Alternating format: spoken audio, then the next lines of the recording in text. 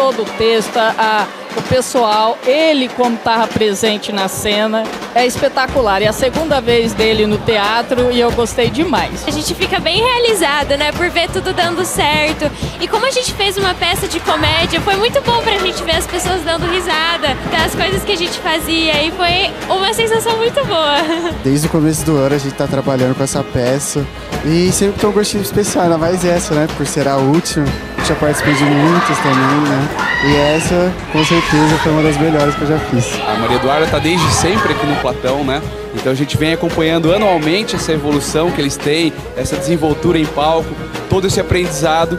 E hoje você chega numa peça assim que eles retratam uma realidade tão difícil e tão triste do Nordeste de uma forma cômica, né? É muito bacana ver isso aí, é um orgulho para, lógico, para mim como pai e como pai de um aluno Platão.